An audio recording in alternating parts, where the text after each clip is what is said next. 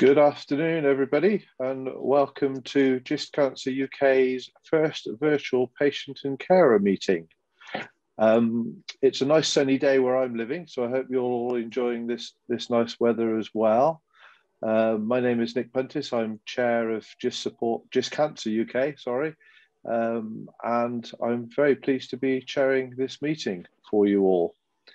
Uh, we have uh, a number of people speaking for us today, uh, and that includes uh, uh, somebody from uh, all parts of the country, uh, London, up north, and down in.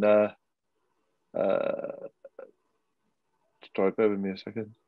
Just try to get rid of that. Yeah, so um, so we've got some very interesting speakers, and hopefully it'll be a very informative meeting for you.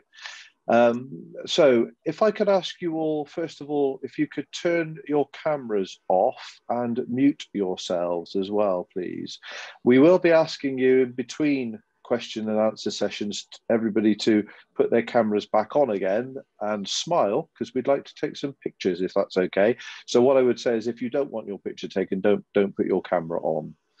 Um, so today's agenda is uh, quarter past two, we'll be having a talk by uh, Dr. Iona Nixon and Professor Robin Jones. Iona is a consultant clinical oncologist from the Beatson West Scotland Cancer Centre, and Robin is uh, Professor Robin Jones from uh, the Royal Marsden. He's a consultant medical oncologist. Uh, following their, their talk, we'll be having a question and answer session uh, where you can ask. I'll talk to you about how to pose your any questions you might have in a moment, but you can ask some questions of the of the two speakers. We'll then have that photograph that I was just talking to you about. Um, uh, after which we've got a talk from uh, Vicky Rockingham, uh, MBE, who is a wild type GIST patient, mother, and she currently works for the Environment Agency. Um, and Wendy Unsworth, who's a medical advisor at the Aintree Information Centre, and they'll be talking about continuing to work when diagnosed with a GIST. Uh, again, following them, we'll have a question and answer session uh, with them.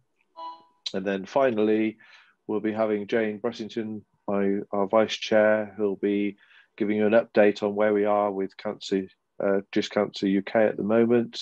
Um, and we haven't actually been able to speak to to many of you over this pandemic period, but hopefully that might all change fairly soon. Things are looking up with regard to vaccinations. So we're hoping that uh, we'll be able to have a, a normal meeting face to face at some stage. Uh, so a little bit of uh, meeting etiquette. Um, as I said, if you could keep your cameras and microphones muted, uh, unless during the question and answer session, uh, we invite you to ask a question. Um, I would ask you to post your questions via the chat box. Um, throughout the presentations, you can ask you can ask a question, and then, as I say, in the 15 minute question and answer session, we'll we'll either be taking the questions that have been asked or invite the people to ask the questions themselves. You can also raise a hand. Um, when we've only got 15 minutes per question session, so uh, putting your question through the chat box is best. But uh, if you're if you'd like to speak, it's not a problem. Raise a hand, and hopefully we'll get to you. If you have any technical issues, please send an email to gcuk at productionbureau.com, and we'll get back to you uh, with hopefully a resolution to any of the technical issues that that you may have. Uh, the only other thing I'd like to do before we hand over to the speakers is uh, thank some pharmaceutical companies for their financial support in helping us run these meetings, and they are Bayer, Deciphera, and Blueprint, all of which have very generously helped us to fund the cost of doing this because we are a voluntary run organisation. And also, I'd like to thank Jane Bressington, Vice Chair, for sorting this meeting out, along with Anna May and her team from Production Bureau, who uh, I'm thanking her now because I'm sure this will go as smoothly as we expect it to. Um, but again, we'll, we'll thank at the end as well. just for your information, we have almost 100 people participating at the moment in this meeting. Hopefully, we'll have a few more people join us as, uh, as we continue. Um, so now I'd like to hand over to uh, Iona Nixon, Dr. Iona Nixon to start with, and then uh, Professor Robin Jones, and they are going to be talking about addressing the needs of cancer patients in the pandemic lockdown. Thank you, Iona. Hello, everyone. It is a great pleasure and honor to be invited to talk about the special needs of sarcoma and GIST patients in the pandemic and lockdown. This talk is a joint talk with my dear colleague and friend, Professor Robin Jones. There is a quote from Hippocrates that says, Where there is a love of medicine, there is a love of humanity. My name is Ioana Nixon. I am a sarcoma oncologist in Glasgow, and I'm also Greek, therefore, I feel I have a close affinity with Hippocrates. This quote is now more relevant than ever as humanity is challenged with the pandemic, and each and every one of us plays a role to help us get through this challenging time. Today, we will discuss the current healthcare landscape, focusing on the care for sarcoma and GIST patients, and what we, as oncology community, have done to respond to the pandemic. What are the efforts of the oncology community in terms of forming guidelines for cancer care during the pandemic? To this direction, we will talk you through the current guidelines. We will share with you our data to show some figures in relation to the impact of COVID on sarcoma and GIST care. We will also discuss telemedicine and what we discovered regarding patient experience through telemedicine on the basis of research we did. Finally, in this talk, we will also give some information on clinical trials for GIST patients, as well as on COVID vaccination for patients, both topics of interest to the majority of our patients. To set the scenes, I will start by the first and most important thing, which is listening to the patients. Not only with a stethoscope in the context of a clinical examination, but truly listening to understand, which will then enable us the medical team to help the individual the best way possible and personalize their care. A few years ago, in uh, 2018, the Scottish Sarcoma Network organized a day for patients and carers on resilience.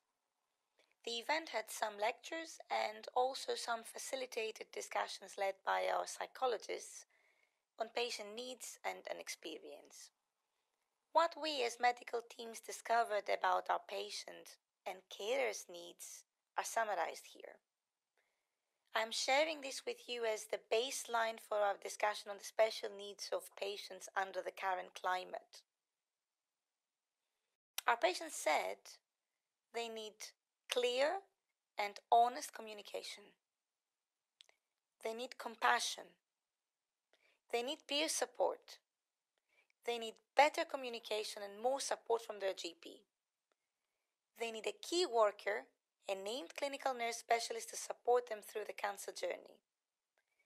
They need access to information and best treatments for their disease tailored to their needs as individuals. They need to be seen as people, not as a disease.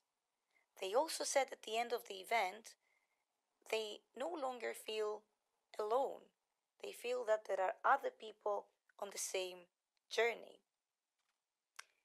So, bringing everyone nicely to, to the present, during the pandemic, here are some patient stories that actually highlight needs that COVID made more evident. Anya is 46 years old. She has a soft tissue sarcoma and treatment plan involves preoperative radiotherapy followed by surgery. She comes from Perth, which is considerable distance from Glasgow, therefore needs to be an inpatient with us for five weeks, which is the duration of her radiotherapy treatment. Although she can still contact her family and see her child through video calls, she admits she struggles without physical contact with them. At the same time, her family also struggles and feels they can't support her the most during this challenging time, as they report to medical team when they contact us for regular updates. Heather is 28. She's a mom of a three year old daughter and is newly diagnosed with an osteosarcoma. She's undergoing intensive chemotherapy and needs to spend considerable time in the hospital with us without any visitors. Her husband is in contact with her through video calls, however, she struggles not being able to see him and her little girl. And here you see her What Matters to Me chart saying that her wish is to get well and go home to her little girl. So, what do these stories tell us? Let's hold on to that question. We all know sarcomas and GISTs are rare tumors. And they ought to be treated by teams with expertise. They ought to be treated in specialized centers. They ought to be managed in a clinical network which works in partnership with wider networks, clinical and non clinical. And they also ought to be diagnosed promptly. The needs of sarcoma and GIST patients during the pandemic and lockdown have become, unsurprisingly, more complex. This is due to the number of changes that the pandemic forced upon us and upon cancer services. How did we as a community respond to the changes and what did we do to understand your needs? Over to my colleague, Professor Robin Jones, who will briefly discuss some of the guidelines we rapidly produced to ensure safe delivery of care for our patients. So, um, thanks very much. And um, again, I'm uh, very grateful for the um, invitation and uh, grateful uh, to um, Dr. Nixon for the kind words. So, as mentioned, um, with the advent of the pandemic, we developed a set of recommendations for uh, GIST and sarcoma patients in the um, COVID era. And these basically prioritized um, the um, outpatient treatment for um, people um, based on the grade and the aggressiveness of their uh, cancer. And these slides uh, just briefly um, outline the um, priority levels for uh, various different um, treatments. Uh, this slide highlighting that patients undergoing pre or post-operative uh, chemotherapy for um, uh, diseases such as osteosarcoma, Ewing sarcoma, rhabdomyosarcomas should have high priority, as um, uh, is the case for patients with um, preoperative or um, postoperative imatinib for um, high-risk localized GIST. And um, in the context of the uh, pandemic, uh, this uh, prioritization uh, system worked um, really uh, well for our institution and uh, other teams in the United Kingdom and um, across um, Europe. So next slide, please. And you can see uh, that um, as part of our um, ESMO um, guidance with specific reference to um, uh, GISTs that the initiation of imatinib, sunitinib, and regorafenib as first, second, and third line, respectively, for uh, GIST patients was uh, given um, high priority. Also, uh, continuation of treatment in the context of a clinical trial, um, provided that the benefits outweighed the risk of um, treatment. Um, and of course, in the context of a lockdown and the uh, general pandemic, with possible adaptation of procedures without affecting patients' safety and study conduct. And in a way, this reflects the um, the uh, fact that um, um, we um, tried to prioritize as best we could in, in very difficult circumstances and change appointments where possible, including for um, clinical trials to um, telemedicine uh, appointments. In the um, general context of patients with other types of sarcomas, um, high to medium priority was given to uh, first line or further lines of treatment for um, advanced disease. But again, the chemotherapy um, agents that we use uh, for most um, uh, sarcomas are far more toxic than um, some of the uh, tyrosine kinase inhibitors that we use for GIST. So next slide, please. Thank you, Robin. That was fantastic. And just to add that on behalf of the Scottish Sarcoma Network, we developed our guidelines which are in keeping with the guidelines shared by you. At this point, I would like to share with you more data from the Scottish Sarcoma Network. The government asked us to collect data on all cancers on treatment priorities and impact of COVID on decision making. According to the data we have on sarcoma and GIST from Scotland, we had 792 cases discussed through our oncology meeting between March 2020 and March 2021. Out of these, 280 are newly diagnosed sarcoma and GIST patients, and 512 are return patients to the oncology meeting. There are four patients known to our oncology meeting. I need to uh, highlight at this point that the data you see, the figures you see, do not capture data from, uh, from the Edinburgh Oncology meeting. In relation to COVID impact on treatment, overall this is recorded for seven cases. Three are newly diagnosed and the impact is change in treatment sequence, and none of these patients are patients with GIST. Here you see a picture taken during the first lockdown. This is Glasgow Queen Street, uh, which is one of the busiest stations in Glasgow. I'm commuting to go to the Royal Infirmary Hospital to see a patient jointly with the orthopedic surgeons, and I'm literally the only person in the station, and very likely the only person on the train, too. Moving on to telemedicine, an area emerging these days.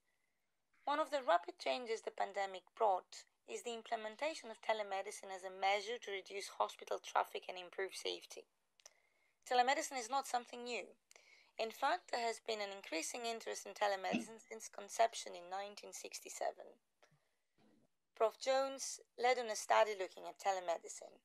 So, Robin, can you tell us a bit more about what you and your team have done and what you discovered? Thanks very much. So we performed uh, three uh, studies uh, initially at Royal Marsden um, uh, when we went into uh, lockdown. And the first um, tried to define the true impact of coronavirus disease in the at-risk population of patients with all types of cancer. Next slide, please. So the central assumption, the central basis of this study was that anti-cancer treatments might increase the severity of COVID-19. And um, Dr. Gennatas led um, this to uh, th this particular study, looking at patients over the age of 18 years who had face-to-face -face appointments at the Royal Marsden uh, between March and April 2020, and then compared to the same period in 2019. And we also looked at patients that were treated with intravenous chemotherapy or oral anti-cancer therapy, which is very relevant, of course, for GIST. Looked at patients that were undergoing tests such as imaging and blood tests, patients undergoing surgery and radiation, and also all patients uh, that tested positive for COVID. Next slide, please. So um, in March and April 2020, uh, just under 13,500 uh, individual patients over uh, the age of 18 were seen at the Royal Marsden. Just over 2,000 of these received cytotoxic chemotherapy, either intravenous or oral. Um, this, these treatments were administered alone or in combination with other treatments. And in total, sarcoma and GIST patients made, over, uh, made up 1,064 of these patients. Between March and April 2019, in the pre-COVID era, 18,087 patients were seen during the same um, time frame. Next slide, please. And this gives you, um, this table from the publication gives you a breakdown of the individual types of um, um, uh, uh, types of cancer that we um, studied. So as I said, this was a general um, study of all cancer patients um, treated at the Royal Marsden during that time period. And as you'd expect, um, the study included um, a variety of different um, solid tumours. Next slide, please. So in, in our study, 867 patients tested positive for COVID, 101 required uh, hospital admission. So out of the total of 13,489, this makes up 0.84%. So quite a low um, uh, percentage, which was very reassuring to us. And 12 or 10.6% were admitted to the intensive care unit, and sadly, 29 um, people died. But out of the total of three, uh, 13,489, this was only 0.21%, so quite, quite a low number. Next slide, please. And uh, this slide, uh, again from the publication, gives the treatment-related characteristics of um, COVID-19 positive um, patients, um, with the majority undergoing um, palliative uh, so just under 65%, as opposed to 35% um, undergoing curative treatment. And as you'd expect for a broad range of um, types of cancer, a lot of different types of treatments uh, administered. Next slide, please. So the conclusion from this study was that the overall incidence of clinically significant COVID-19 amongst patients with cancer attending the Royal Marsden Hospital in March, April 2020 was no higher than that in the general uh, population, which was a reassuring finding for us. Next slide, please. During this um, period, um, as I mentioned, um, of GIST and sarcoma patients, there were 1,064, and these were seen in um, all three um, uh, clinics, medical oncology, clinical oncology, as well as surgical oncology. Next slide, please. In terms of um, what we actually looked at, of, in terms of the outpatient appointments, we would see people face to face if they were starting treatment, if they had severe side effects uh, from treatment, and if um, they were um, having a discussion regarding stopping treatment, and that was approximately 20%. Everyone else we tried to transfer to telemedicine appointments. In terms of the um, oral drugs, either chemotherapy or the tyrosine kinase inhibitors that we use for um, GIST, um, we tried to minimize um, uh, hospital um, visits with uh, blood tests being performed with uh, at the same time as the scans. And um, we also uh, tried to um, set up a system to deliver um, medicines uh, to patients rather than them having to come to the hospital to pick those medicines up. And in terms of our assessments, we would um, use phone calls to assess uh, for side effects. Um, if the side effects were really um, um, bad, then of course we'd arrange a um, face-to-face -face appointment. And in terms of patients uh, undergoing intravenous um, chemotherapy, there were 238 in March 2020. Um, uh, for our patient group, most patients carried on with treatment. Um, and in terms of inpatient chemotherapy, we only carried on with inpatient chemotherapy if patients were receiving neoadjuvant or adjuvant uh, treatment, i.e. pre or post-operative curative uh, treatment. Next, next slide, please. In terms of clinical trials, uh, we did not activate any new clinical trials during the first lockdown. But for patients that were already on um, clinical trials, we carried on. And this is very important for uh, many of um, the GIST patients attending um, our clinic because we had a number of um, uh, clinical trials and compassionate access programs open um, during this time, particularly for uh, ripretinib, avapritinib, and cabozantinib. And in terms of the uh, scan or imaging schedule, um, we uh, made no change to uh, the scanning uh, schedule for patients on treatment. For patients on active surveillance, we tried to space out the scans as much as uh, possible to try and um, uh, minimize, again, um, hospital um, visits. And for our multidisciplinary team um, meetings, we, of course, um, converted all of those to teleconferences. Next slide, please. So this is the um, study that Dr. Nixon uh, mentioned. Um, um, this uh, looked at the um, rapid transition of um, face-to-face -face appointments to telemedicine during the um, uh, COVID-19 pandemic, and particularly with emphasis on the impact for rare cancers. And as was mentioned, telemedicine is, is, is, the delivery of health services using communication technology rather than face-to-face -face visits.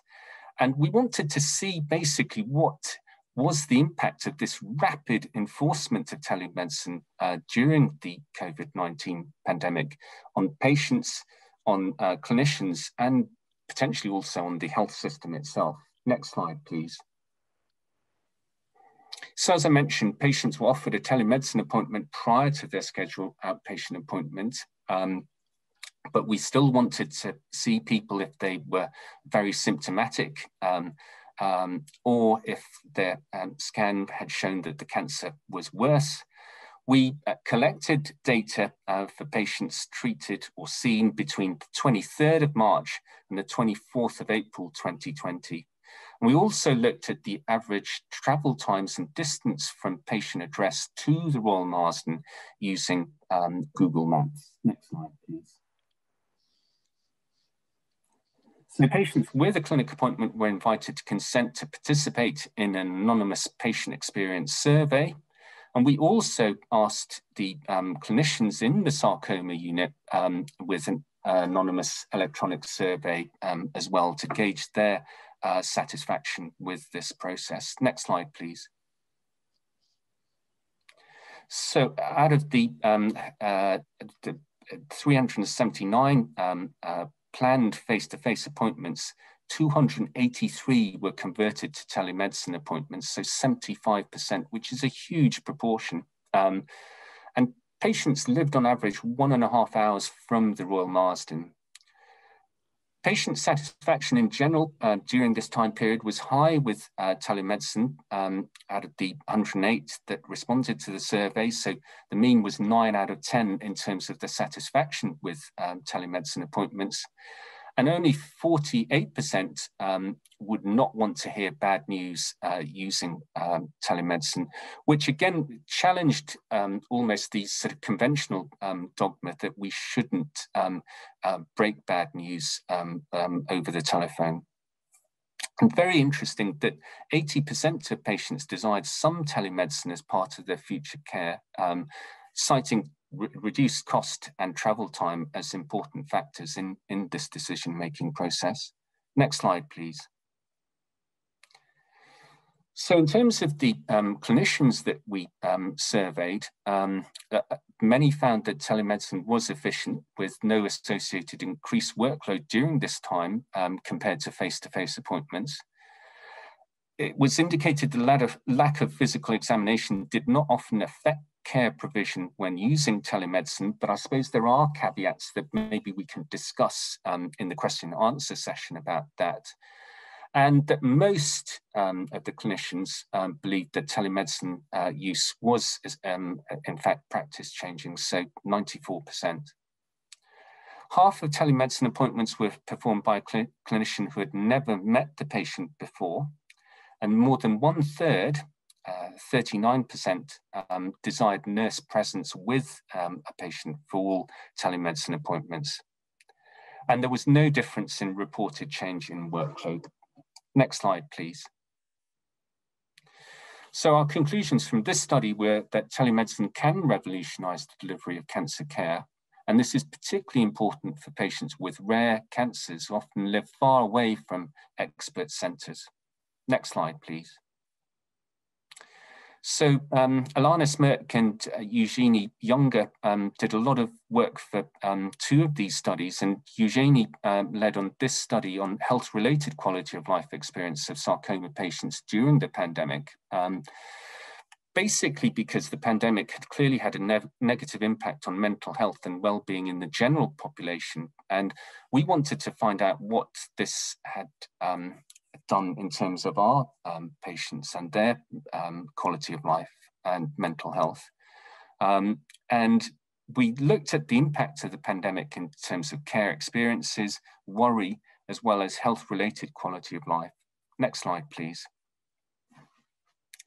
So we did a cross-sectional survey uh, um, assessing the experiences of GIST and sarcoma patients, both at the Royal Marsden and at University College London and um, patients over the age of 16 years with the diagnosis of either GIST, soft tissue sarcoma or STS, or bone sarcomas were um, invited to participate. And we looked at um, planned outpatient appointments between the 23rd of March and the uh, 23rd of May uh, 2020 in both the medical and clinical oncology clinics. Next slide, please. So in total, um, 350 patients um, uh, were um, invited. The median age was 58 years, 55% were female, and 82% were Caucasian.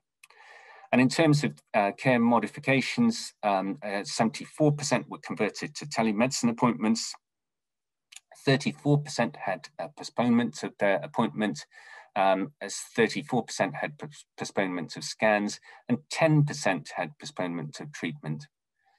72% felt the quality of care was not affected, um, uh, but importantly, 87% uh, felt that their social life was affected, and 41% felt that their emotional well-being had been affected as well. And um, 85 patients, or 24%, reported being lonely. Um, and 150 use, uh, patients, or 33%, um, um, had low uh, resilience. Next line, please. And this um, uh, shows the uh, this uh, chart shows the um, uh, the impact in terms of sarcoma and COVID-19 worry um, in the context of treatment in, uh, intent and active um, treatment uh, status. So worry was clearly um, um, a major concern, both in terms of the sarcoma treatment, but also in terms of the um, COVID-19 worry, particularly um, uh, for um, patients undergoing curative and palliative therapy. Next, next slide, please. So satisfaction with telemedicine was um, was good. Um, in terms of telephone appointments, the mean satisfaction score was 8.7 out of 10. In terms of video um, appointments, the mean score was 7.4 out of 10 in terms of satisfaction. And in comparison, the uh, satisfaction with face-to-face -face appointments was um, uh, 8.4 out of 10. And again, 74% of patients would uh, like some form of telemedicine in uh, their future care. Um, uh, and factors influencing this are um, the uh, convenience, the time that it took to travel to their respective hospital, as well as the financial impact also. And uh, again, importantly, 22% uh, of patients would like only face-to-face -face, um, appointments um, um, uh, as their follow-up. So clearly telemedicine isn't um, an approach that everybody um, likes. And um, it's important for us now to give people the option in terms of what would be their preference. Next slide, please. And in terms of um, some final points regarding uh, Dr. Younger's study, 22% um, of patients in that study uh, did know, not know what the intent of treatment was, whether it was um, um uh, curative or um, uh, palliative. Um, these people tended to have higher uh, worry also regarding COVID-19 and insomnia, and were more likely to want face-to-face -face appointments. And we think that um, basically um, telemedicine is here to stay beyond the pandemic. Um, there are, of course, longer term consequences of telemedicine or the postponement of care um, for um, patients um, during the pandemic period. And I think it's important that we highlight that uh, extra psychological support is probably needed but we have to make the um, arguments with the um, uh, funding and administrative bodies to um, justify that, and we'll probably look at that in future studies. Next slide, please. So in, in, essence, we need to try and carry on delivering the best possible care to our patients that we can, despite problems such as the um, pandemic. And this is not always as straightforward as it may sound.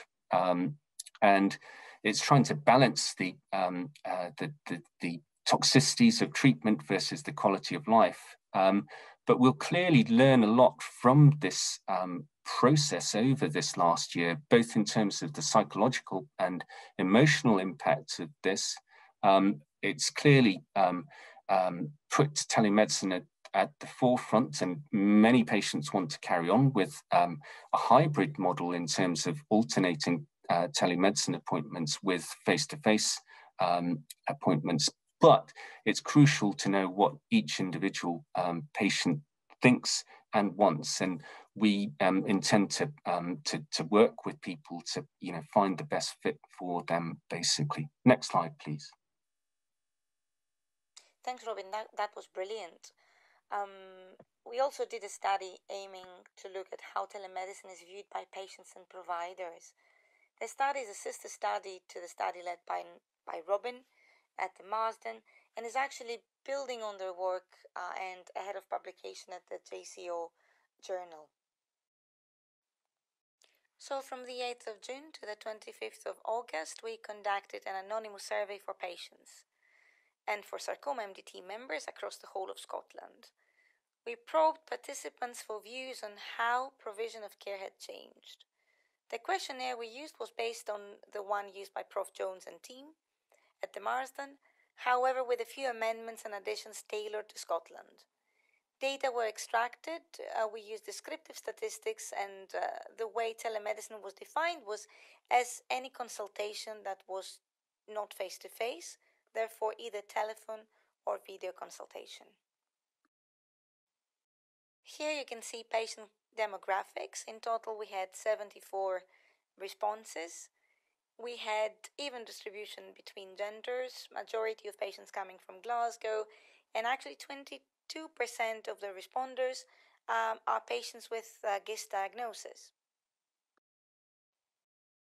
So, what did patients say on how they view telemedicine? The majority of patients would like mostly telemedicine and occasional face to face appointments going forward. The responses were not significantly affected by age or gender, comparatively small sample size. The reason for favoring telemedicine was largely related to time and cost pressures.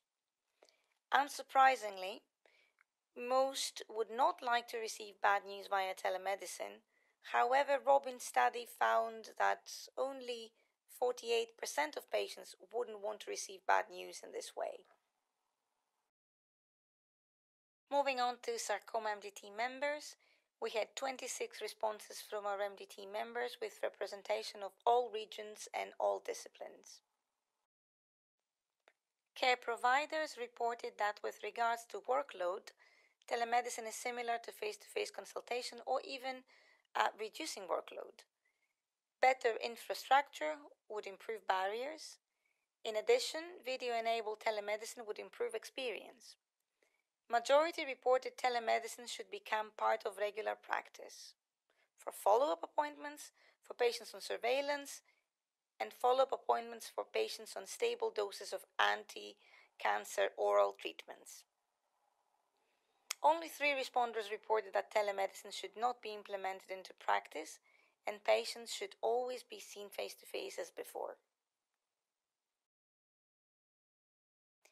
What we found was experience of both patients and providers was broadly positive on telemedicine. Both patients and providers were receptive to the long-term implementation of telemedicine in the clinical encounter. However, providers indicated appropriate patient populations such as follow-up patients. Patients would rather have a face-to-face consultation to be given bad news. Clearly, there is more work to be done and telemedicine, although here to stay, is not one size fits all solution. What we propose is a qualitative study moving forward to look in more depth into patient and providers' experience aiming at gaining the understanding to shape future services tailored to the needs of sarcoma patients. Clinical nurse specialists play a greatly important role in cancer patient care. And at this point, I am inviting Alan Abraham, the sarcoma nurse specialist at the Beatson, to share his observations as key worker for our patients during the pandemic and lockdown. Hi, my name is Alan Abraham. I'm the sarcoma specialist based at the Beatson Oncology Centre in Glasgow, and I work um, between the oncology teams uh, based at the Beatson and the surgical teams based at the Glasgow Royal Infirmary, being the sort of main point of contact for our patients, main key worker. Um, sort of coordinating patients' care between the various centres that are involved. Um, the main differences I've experienced in my role during the COVID pandemic are pretty wide ranging. Um, the most obvious difference has been the way we have moved to a more uh, remote way of working. Um, both with the patients and working as a team. Um, in terms of the patients, and the most obvious thing is the clinics and the way we have moved to a more telemedicine centric uh, way of working. Um, we review most of our patients who are stable and have been on treatment for a few years or are many years down the line now. Um, we review most of them now by means of a telephone call. Um, and patients that are on treatment or having issues are obviously still being offered in patient, uh, sorry, in person um, appointments and reviews. So they've still been attending, but most of the time we've been trying to do things remotely. And I feel the feedback on this has mostly been positive. Um, patients understand the social distancing sort of guidance that's been enforced on all of us. You know, the the the whole country has had to follow these rules, not just the NHS, and most patients are understanding about that. You do still get the odd patient that is obviously the, the fear of recurrence is a very obvious thing um, for our patients to be worried about and a, a, very common thing. And certain patients will still like to come in attendance for a clinical review and to make sure that um, they've been examined in person, and that's fine. Where the levels of anxiety are causing a problem for that patient, and we can of course arrange that. Uh, however, again, it's been it's worked pretty well. We've been able to arrange local surveillance X-rays and scans for people, give them the results over the phone, examine them over the phone. We've also worked um, closely with a website um, called My Clinical Outcomes uh, for our GIST patients, where some of our patients have registered themselves on this website. Uh, they complete some quality of life questionnaires um, at the end of every month. The website will generate a score for this patient based on their answers, and it just gives us some extra data to help um, help us recognise any problems that are going on with patients if if there's a noticeable you know downturn in their um, performance status, then the My Clinical Outcomes website has been really useful to us for identifying some of those things, maybe even sometimes before the patients themselves notice that they're feeling um, a bit more run down than maybe they were uh, a few months prior. Um, it's also changed how we work uh, as a team, as I said, and that's probably most obvious by the way we do our MDT now. Um, used to be the case we would all gather in person for the MDT and um, conduct the meeting that way. However, now we're doing it as a, more of a virtual thing on uh, Microsoft Teams. And I think actually, certainly from my own point of view, I think this has resulted in an improved attendance at the MDT. More people are showing up just because it's more convenient to show up. They can do it remotely instead of having to be at a certain place at a certain time. Um, and they, I do feel there's been more uh, been improved attendance. So I do think there's more expertise that now shows up at the meetings and it uh, allows for a better quality of decision and outcome. And um, I do feel that's been beneficial, and I, I personally hope after the, you know, in the post-COVID world, post-pandemic world, that we keep the MDT as it is because I do feel it's it's probably better than it was just with the um, the move to a virtual model.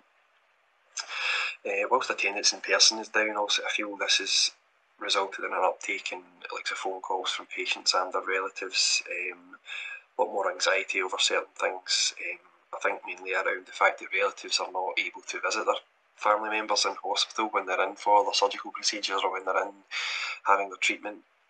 Uh, used to be the case also relatives could come in and you'd have access to the consultants, you would have access to the ward nurses, you could ask your questions, whereas now you're hearing everything second hand from the patient over the phone. And I'm sure as patients yourselves, you've all been in the situation where you've been interrogated by a relative, um, just wanting to, you know, check what the doctor said, what did they say about the scan, what did they say about that drug, what did they say about the trial, um, and maybe they've wanted to call a nurse like myself to corroborate your story, make sure you're not getting anything mixed up. So that's that's been quite a common thing, and certainly um, had an increase in activity for us from that point of view. Uh, also been an increase in activity, I would say over three specific points during the pandemic, and I'm sure it's something that all patients will recognise, and that would be the first two lockdowns, especially the first one, um, and the rollout of the vaccine obviously with the lockdowns, um, again the first one, the shielding letters were going out. Obviously, it was this developing worldwide story. Um, a lot of anxiety from patients and their relatives wanting to keep each other safe. I've not received my shielding letter yet. Should I? You know, should my husband or wife be shielding? Can they go to work? Um, what does this mean if I've not received the letter? You know, there was a lot of anxiety about that uh, in March, and I think that those two or three weeks after that first lockdown were, without question, the busiest time I personally have had since I came into the role. Um, so the main kind of need there, I think, was reassurance and reassurance in the government guidelines and reassurance that they were being managed safely during COVID. Um, so that was quite a busy time then. And yeah, I've noticed that a similar uh, pattern uh, now recently when the, the vaccines have been getting rolled out. Um, again, a lot of questions and anxiety about uh, what group should you, you know, what priority should you be for being offered the vaccine? Should you take it? Which one should you take? Should your family be offered the vaccine also? Um, can I take it when I'm on treatment? You know, a lot of the same questions coming up, again, understandable. Um, that the patients and their families will be asking these questions. So that I feel has been the most noticeable um, cause of anxiety over the last year. I think obviously the pandemic has caused havoc with a, a lot of people's mental health, and I think going through a cancer diagnosis, getting through treatment for cancer, um, without the support of maybe your family and friends who you would normally see to help uh, prop you up a bit when you're going through a hard time like that, I think has um, been quite cruel for a lot of our patients, and I have found a lot of patients a bit more open to the suggestion of psychological support. Um, I do think as well lack of access to GPs has had a lot of uh, negative effects on our patients. Um, I think certainly for a few patients I can think of, it's sort of stirred up a lot of uh, reminders of maybe a delayed diagnosis before they came to us. Um, and again, that fear of recurrence and fear that something's going to get missed. So I definitely feel these things have had a, a negative effect on our patients as well. Um, just to end on a positive, I would say we're also conducting a, a patient experience um, sort of survey just now for our radiotherapy patients throughout COVID.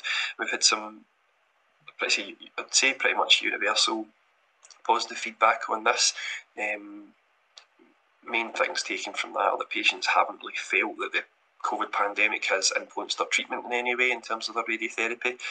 And that's quite reassuring being part of the team that they know that we still look to tailor the care to them uh, as an individual and that the team, whilst maybe they don't see us as often, the team are still there and they're still able to investigate or act on any problems or concerns that they might have. So that was good feedback to have uh, from that survey, and that's still ongoing. So far, we've had some good um, information from our patients about that. Um, I would like to just finish, uh, as soon as I'm talking to patients, by just saying uh, thanks. Um, I'd like to say thank you for your patience during this pandemic. Um, obviously, it's been a very good very difficult thing to work in, and I can't imagine what it's been like to be a patient during all of this. And whilst there's been a lot of anxiety, uh, frustration at times, I've never really found a patient I felt that was unhappy for a COVID related reason. I think the level of understanding and patience they've shown has been remarkable. Um, various reasons, you know, why why family members can't attend hospital to see them, why their local hospital's not available to them anymore for uh, their scans that they would normally attend. Um, why a trial might not be available or open to them. Um, patients have taken it all in their stride, and I've been so impressed by that um, because I don't know that I personally would have handled it as well as, as most of our patients have. So, again, uh, a real uh, heartfelt thank you to you all, and uh, thank you for listening, and best wishes. Thank you.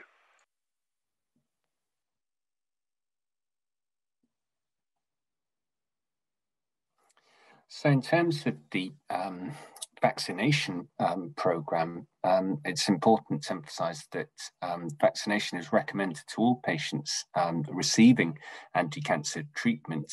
Um, and of course, there's uh, a clear need for caution. there have been severe uh, particularly if they've um, in the past been severe allergic reactions to drugs such as paclitaxel or um, Caelyx. And um, in, in that context, um, it's important not to use the Pfizer vaccine as it contains polyethylene glycol or PEG. Um, um, but um, the modified um, adenovirus Oxford AstraZeneca vaccine may be more appropriate um, in that setting. And this recommendation um, regarding um, vaccination uh, to all um, patients undergoing active cancer treatment, of course, also applies to patients um, within clinical trials. Um, we don't recommend that uh, vaccination is on, um, that it's not on the same day as cytotoxic chemotherapy. Um, but it can be on the same day uh, patients receiving tyrosine kinase inhibitors, which is important, um, as, as mentioned in, in GIST, um, as well as patients receiving monoclonal antibodies or immunotherapy. And vaccination is probably not a good thing to do if um, if somebody's undergoing treatment for infection or other treatment related We usually aim for uh, vaccination for a few days prior to the next cycle of um, chemotherapy. So next slide, please. I mentioned this a little bit earlier on regarding clinical trials. So um, following the first lockdown, we uh, reopened our um, clinical trials at the um, Royal Marsden and um, um, proceeded with um, opening new clinical trials as well. And of course, this was very important for many of our patients, uh, particularly our GIST patients, trials of ripretinib, avapritinib, and uh, cabozantinib. But we've also got a number of compassionate access programs also for, for GIST patients. So we're very keen to um, get clinical trials and compassionate access back up and running um, following the first lock lockdown. So uh, next slide, please. And now moving on to a project uh, relevant to GIST patients and aiming to use information provided by patients using a special platform called My Clinical Outcomes.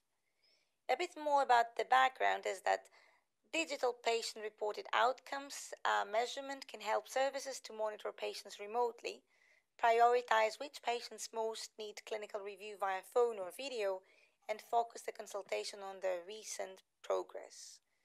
So, My Clinical Outcomes, or else MCO, is a platform allowing for this data to be collected and has already been used in other cancers and showed that it can help improve care particularly during the pandemic, as many of the patients need to stay home and avoid face to face contact.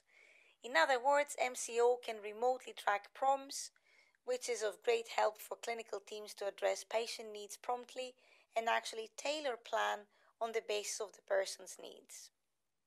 The patients are invited to register voluntarily into the platform and are invited to fill in quality of life questionnaires in between their clinic appointments, which is on a monthly uh, basis.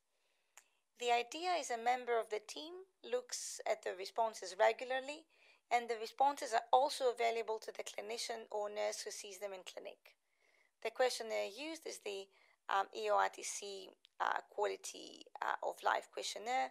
Therefore, it's not, uh, it's not tailored to uh, patients with GIST. However, according to patients who registered, they found this helpful. From the clinical perspective, we actually were able to identify issues and be proactive about two of our patients in between appointments. The issues that were raised and flagged were non relevant to GIST diagnosis and side effects. However, we managed to support and coordinate further care for them. We're still looking at our results, we're still collecting data, and once again, our numbers are, are small. We have 18 patients registered. MCO uh, is, is actually a platform that might be funded through NHS across Scotland for collection of PROMs. Summarizing all above, sarcoma and GIST patient needs have been more complex during the pandemic and lockdown due to a number of reasons, some related to the disease itself, the changes to the services, the guidance for self isolation, restrictions on visitors in the hospital, also fear of COVID infection, lack of access to supportive services, and more.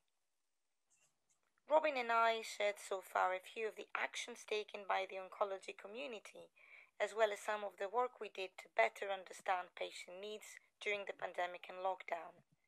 I would also like to share what our colleagues and patients have said about the challenges during the pandemic and lockdown, and also about anything they view as a positive change. Here is what they said.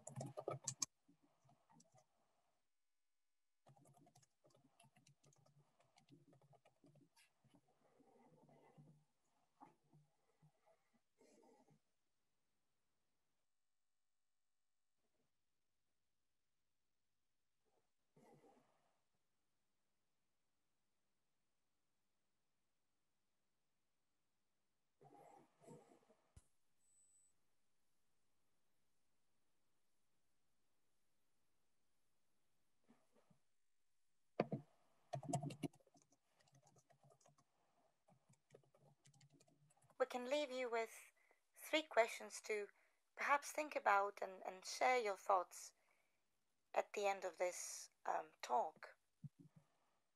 What did you find most challenging about this time? What helped you cope during this period? And what would you like to see more from the team looking after you and from the service? Closing, in, in this slide, we see a snapshot of a Zoom meeting, very popular these days. What is special about this meeting is it is uniting patients, clinicians, and the health minister in a virtual celebration on the completion of the first panel of the Cancer Tapestry. The Cancer Tapestry was born during the RISE event in 2018 the event I mentioned to you at the beginning of this presentation. In that event, Andrew Crummy, who is a former cancer patient and also an artist, shared the idea of creating a tapestry on cancer with other patients. The support was extraordinary, and this novel project started joining hundreds of patients, families, and healthcare professionals telling their story with a stitch. Here you see Heather, a former cancer patient and lead stitcher for the first panel of the cancer tapestry, who is adding in this ceremony the final stitch. Heather, on that day, which was during the first lockdown, spoke about her own cancer journey, the needs of cancer patients, and also expressed her support to all the patients undergoing treatment during the pandemic and lockdown. And her story reminded all of us that at the heart of all healthcare are people with hopes, fears, and every one of them matters. Special thanks to all our colleagues, but mostly to all the patients and their families for their patience during this challenging time. Thank you all for listening.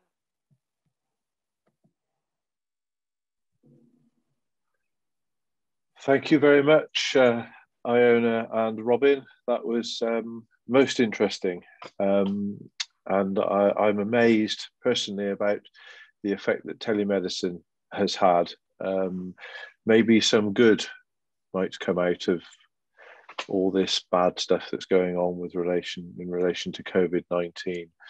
Uh, we were a bit longer than we expected there, but nonetheless, uh, the chat um, box and the and the ability to ask questions is still there as shown on this slide. Um, we have one hand up um, and Cherry Provin, if, if you'd like to ask your question, if you unmute yourself, um, that would be good.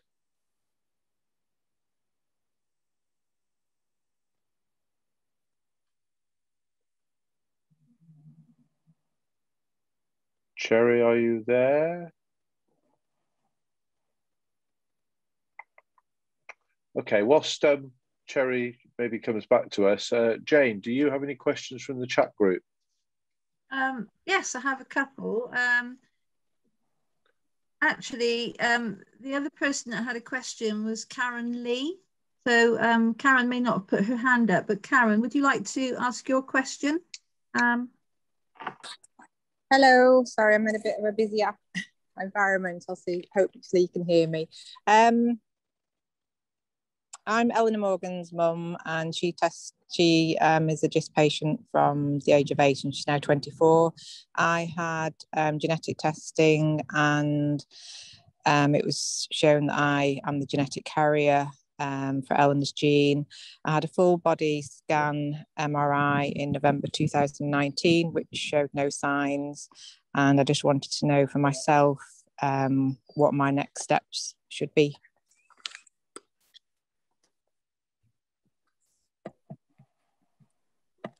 Who, who would like to say that? Robin, Iona?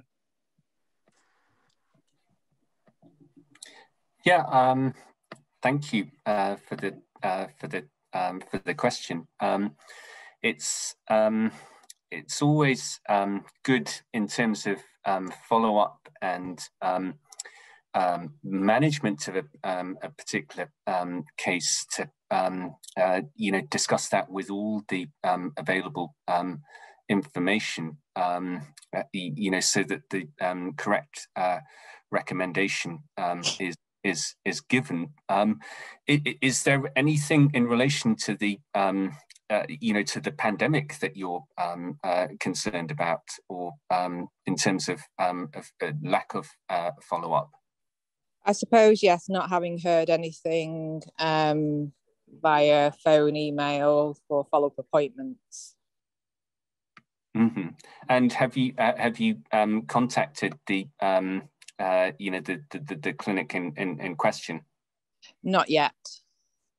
Yeah, maybe that's um, a, you know a, um, a good thing to um, to do because it has been a challenging um, time for all um, health services, um, um, unfortunately, and um, um, we always appreciate if people um, follow up and um, you know uh, just just remind us um, that, that um, um, you know they haven't received information regarding follow-up because um, you know there have been problems in terms of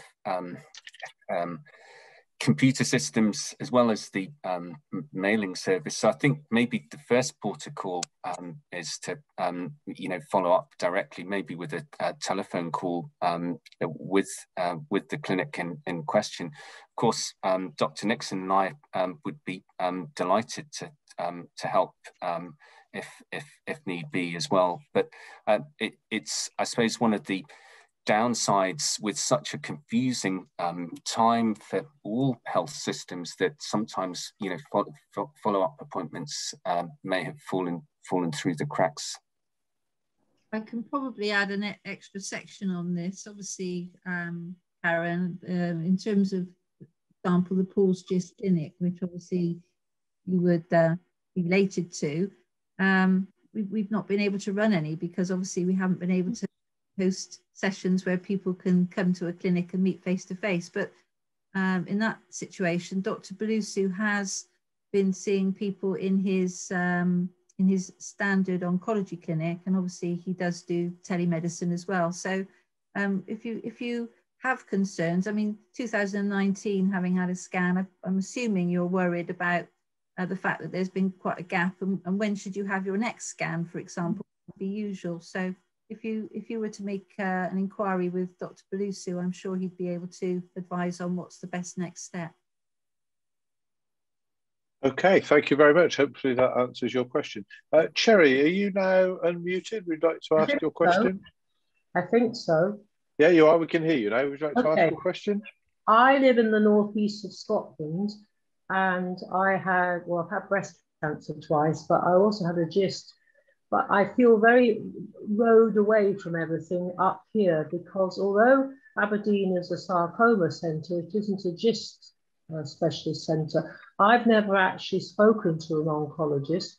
Uh, I hopefully I'm clear, but I still feel I've met a few other people up here as well. And we all kind of feel a little bit remote, stuck out here. We're nowhere near Glasgow. Well, it's about two and a half hours away, I suppose. Um, but I've just wondered, uh, we don't have any clinical nurse specialists up here who've been trained, at least they weren't when I was diagnosed.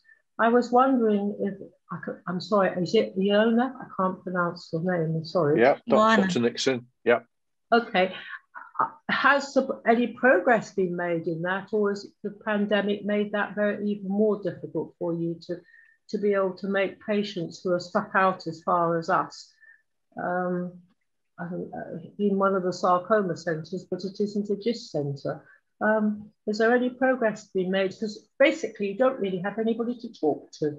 And I have to say, had it not been for the GIST uh, support network, I think I probably would have cracked up.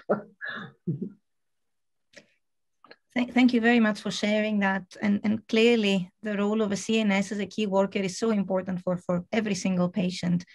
I know that up in the north, and actually for the whole of Scotland, um, the distance is, is, is big. People do travel though. And if you would like to come and see us in Glasgow, we would be more than happy to facilitate that so that you feel that you have discussed your case with, with a center that has got three people that treat GISTs.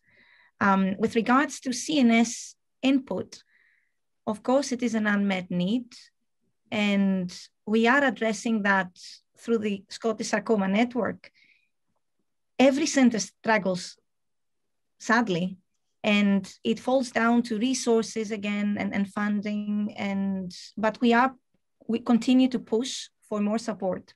And as I said, feel free to contact me uh, or contact us in Glasgow, and we will be very happy to discuss your case. The other thing to provide you reassurance with is that every GIST patient is being discussed at the National Sarcoma MDT. So people refer the cases to the National Sarcoma MDT. I know that, but the thing is, it left us at sea. I'm, I'm aware of that, but basically I did speak to the surgeon about my very small margin, clear margin, but he just said it was a margin. I, I would have liked to have mm. discussed mm. a few things. It's too late now, it's two years ago, and hopefully I'm okay. But um, I do feel for the other people who are newly diagnosed, if they, I had had cancer twice before and probably could cope more easily, maybe because of it. But I think it's very difficult for someone who lives up here. As you can tell, I actually started I don't come from here. I actually started life down with the Royal Marsden, so I do know the difference. No, I okay. Hear. You make an excellent point. I think um, I, I, think you know as as as was mentioned, telemedicine is not for um, everybody, um, but this um, pandemic, one of the positive uh, things to come out of it is that um, we it'll be much easier uh, for us with our um, hospital administrators now to arrange uh, telephone or video uh, consultations with um, people that live in, in remote areas. So hopefully things will be um, will be better um, for um, people in the north of um, Scotland and elsewhere. That does take um, a long time to, to to travel to reference centres, and that was the reason that we wanted to look at the average distance people had to travel to the Royal Marsden um, for our um, COVID uh, studies because that clearly impacts um, um, patient preference in terms of face-to-face or telemedicine follow-up. Okay, thank you very much for that. We've got a, a couple more questions here. Uh, Roger Seekings, would you like to unmute yourself?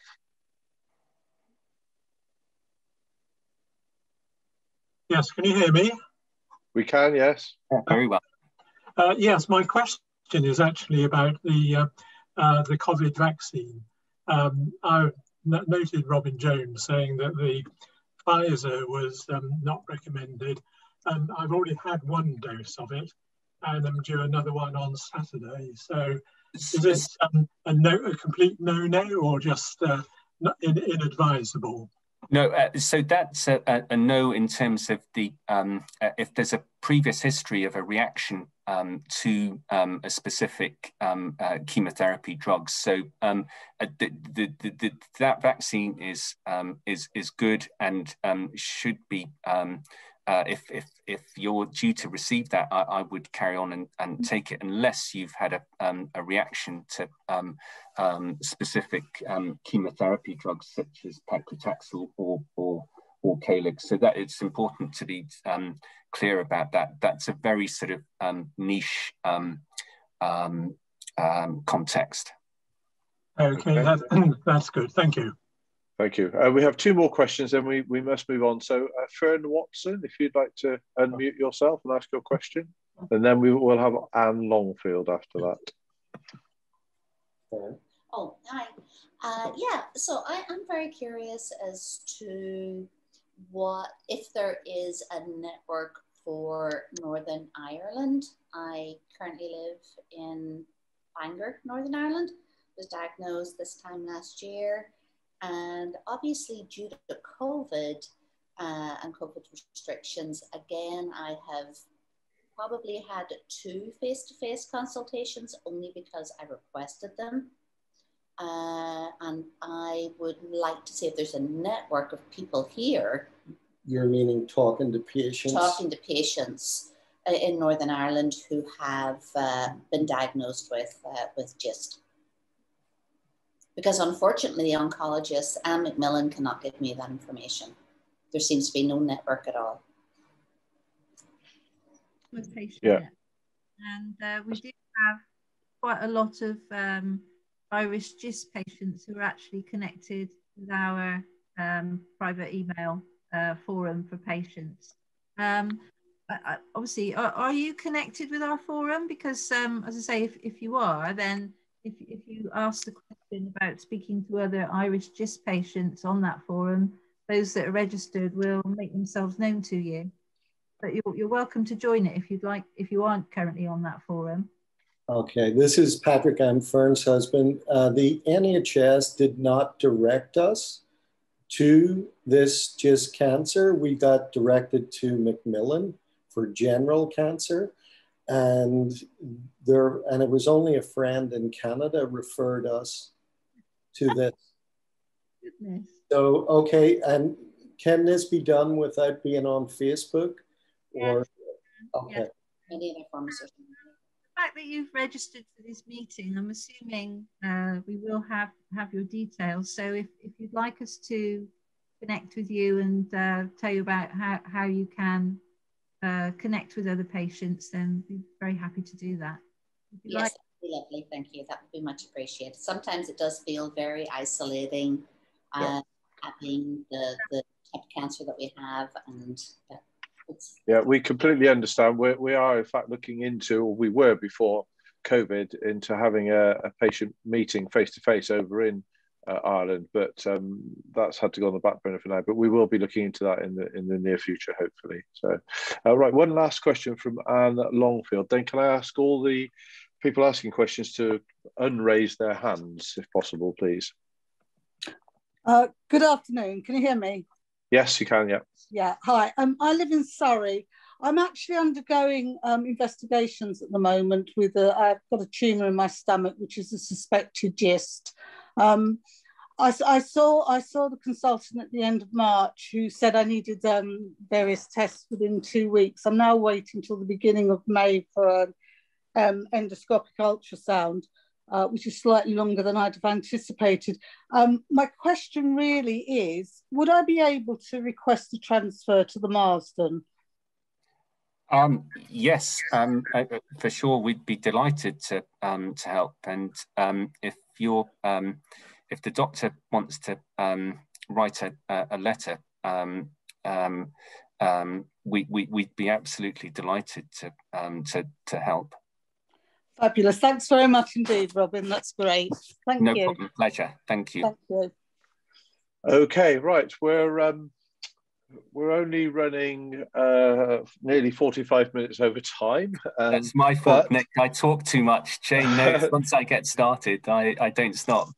No, I, I, it's important. I've, I've checked with the production team. They're quite happy for, for this as long as um, uh, Vicky and, and Wendy are, and I'm sure they are. So um, what we're going to do now very quickly is if everybody who wants to be on a photo um, can turn their videos on and then the production team will take a quick photo. So everybody smile for 30 seconds or so or so and uh, hopefully we can get uh, we can get a photo.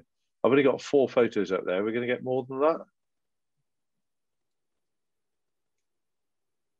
Hi, it's Anna here from the production team. I can see lots of smiling people. If you go into grid view, you'll be able to see everybody back. So I'm just taking my photos now. Bear with me. Oh, so I can, yes. One moment, everyone. Oh, hmm. Right. I still want to know why I couldn't get into the system. I can't ask that yet. What's the documents? Smile.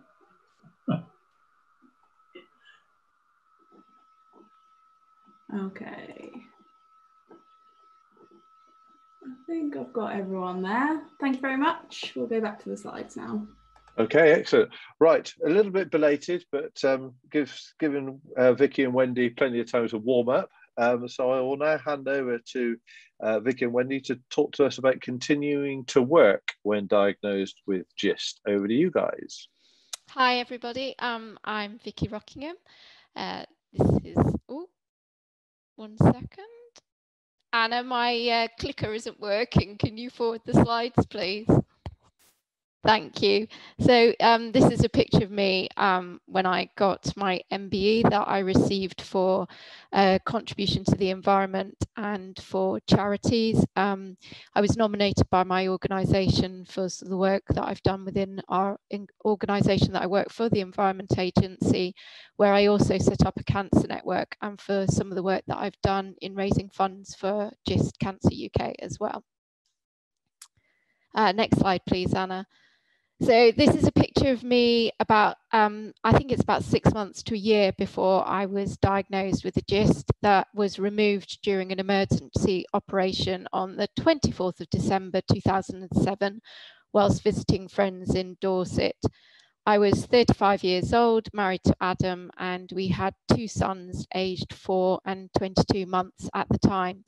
Um, I worked part-time for the Environment Agency I was back in work within six weeks after my partial gastrectomy, mainly because I wanted to be. Um, for me, returning to work was part of my journey back to normality or my changed life, as I would say. Uh, my sons are now aged 17 and 15. Next slide, please.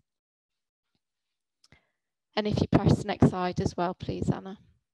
So the Environment Agency is part of the DEFRA group and we follow the same equality, diversity and inclusion strategy. The strategy aims for all employees to bring their whole selves to work. They want people to be themselves, so they perform their best. The Environment Agency has also set itself a really tough well-being ambition that working for the organisation will help improve people's health and well-being. I completely relate to this as I find work gives me purpose. It distracts me from my side effects. Plus it helps fund my boys who are ever more expensive and our household. And as well as that, I feel like I'm contributing to society. Um, my eldest son is about to start university, hopefully in September, in London of all places. So um, that's going to cost us a little bit of money. Um, Anna, could you go to next slide, please? So here, this is the changing story of cancer. In 1970, as these statistics show, the average um, survival rate was one year. And by um, 10 year in by sorry 2015 it had increased the survival rate on average to 10 years so this shows how significantly survival rates have changed it's estimated that 2.5 million people were living with cancer by 2015 and the predictions are that this will continue to rise. With the combination of an aging and growing population and more effective cancer treatments, this means the number of people living with cancer continues to rise. As we know, many of us, in the year 2000, there were very few options for treating GIST, where that GIST either couldn't be removed or had spread. But now there are at least four to five effective treatments available to GIST patients. And for myself, I've been on regorafenib for over six years now. As we all know, each person's experience is different and living with cancer diagnosis is life-changing. Next slide, please. So what about work and cancer? Well, in 2015, it was estimated that there were more than 890,000 people who were living with cancer and who were of working age. and this is going to continue to increase. Estimates suggest that 87 of people of those who were working when diagnosed with cancer wish to remain in work. Work can help regain a sense of normality. It can help with your mental health and it can improve your health, your self-esteem. And of course, as I've alluded to earlier, there's always the financial aspect too. It means there are now people remaining in or returning to the workplace who have additional support needs. There's a clear business case for supporting people affected by cancer who return to the workplace. Employers can benefit from keeping people in work for a number of reasons. It can help st staff morale throughout the organisations by showing that they're a caring um, organisation. It often um, will result in loyalty to the company and it can avoid additional training and recruitment costs. There are also more people caring for someone with cancer and cancer and juggling full or part-time work. In 2015, it was estimated there were 700,000 carers of people with cancer in the UK that were working full or part-time. So carers are very much often a hidden group. Carers are the ones who have to juggle work and their caring responsibilities, and they can find that very tough, but there's lots that employers can do to help things. Next slide, please. So what about the legal rights? Well, cancer is classed as a disability under the Equality Act and the Disability Discrimination Act in Northern Ireland from the moment of diagnosis. It also applies even where there is no longer any evidence of cancer. Therefore, it applies from diagnosis for the lifetime of the employee. Some statistics suggest that more than one in three managers don't know about the Equality Act 2010, that it covers people with cancer. Other statistics show that one in five people who inform their employer of their cancer diagnosis said that their employer did not discuss any options with them, such as reasonable adjustments, sick pay entitlement, or even have a communication plan in place. Next slide, please. Carers' rights, what are their rights? Well, disability discrimination legislation provides additional protection for people who experience discrimination or harassment because they are associated with someone with a disability. So, for example, it would be unlawful if the partner or son or daughter of someone who has cancer was refused a promotion because of concerns that they would be unable to give sufficient attention to the job because they were a carer. By law, any employee in the UK who has worked for an employer for at least 26 weeks has the right to ask for flexible working. This means working a different pattern to the way they are currently working. You can apply for a permanent or temporary change to your terms and conditions. By law, you don't have an automatic right to flexible working. It is just your right to ask for it. But employers do have a duty to deal with requests in a reasonable manner. An employer can refuse a request of flexible working. They have to give a good reason for doing so, and you can, of course, appeal that decision. Employers don't need to make reasonable adjustments for those who are not disabled, including carers. However, carers have the right to reasonable amounts of unpa unpaid time off to look after dependents in an emergency. And this is covered by the Employment Rights Act 1996, as amended by the Employment Relations Act 1999.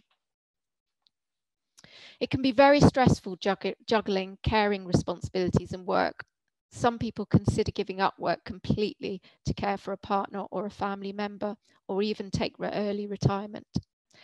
Carers should take really careful advice on this before making a decision, as it can impact on their future employment and pension and other things.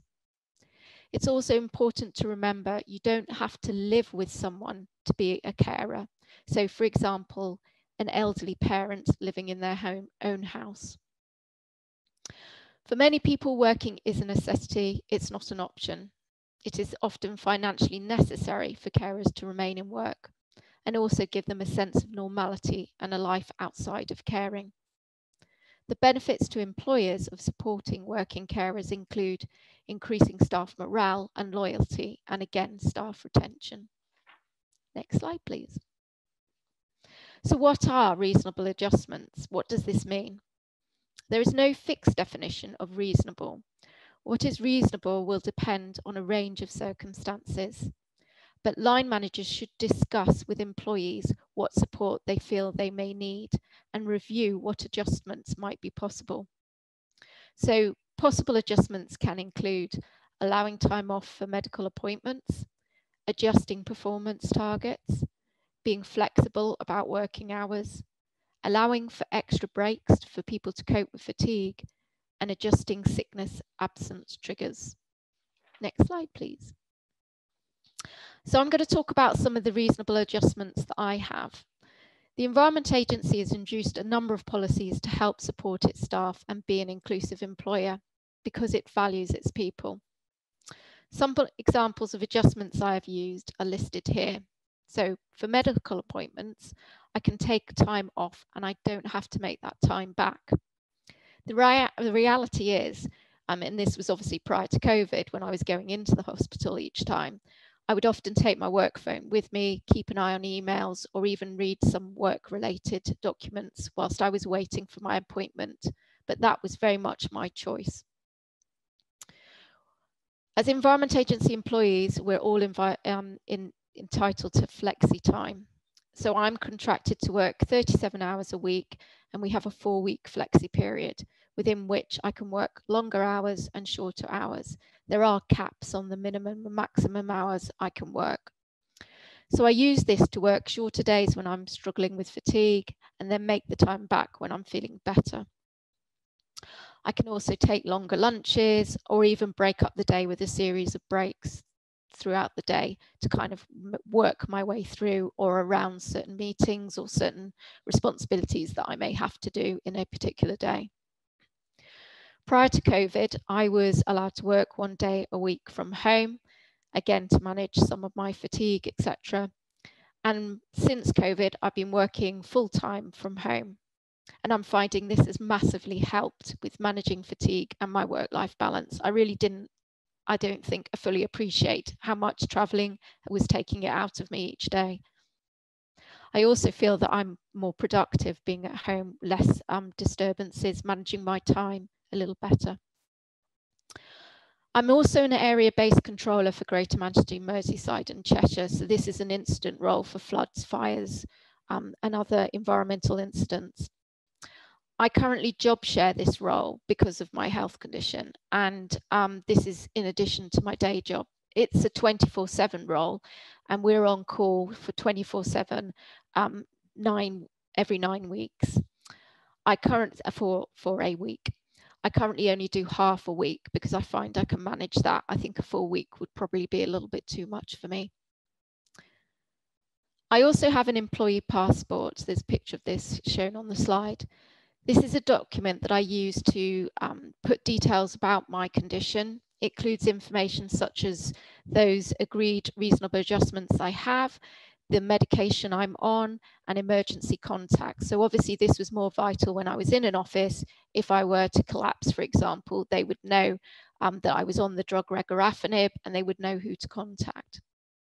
It's a voluntary document agreed with the line manager, but it's really helpful when your line manager changes because you then don't have to reiterate your story time and time again, and it's clear what has already been agreed. They, we also use these documents for carers as well.